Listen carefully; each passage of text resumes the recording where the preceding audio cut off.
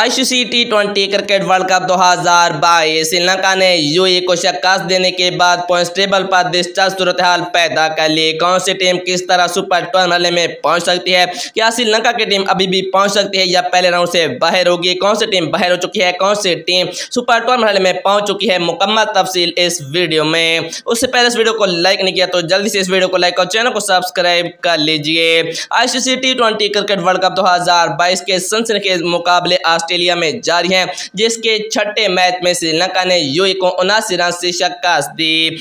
जबकि पहले मैच में नीदरलैंड ने नबीबिया को शिकस्त दी है। अगर हम बात करें नए पॉइंट के बारे में तो बी ग्रुप के पॉइंट पर सर फेरे स्कॉटलैंड की टीम है, जिन्होंने एक खेला एक जीता, दो पॉइंट जम्बावे ने भी एक खेला एक जीता, दो पॉइंट है। जबकि आयरलैंड और वेस्ट इंडीज के अभी कोई पॉइंट्स नहीं है।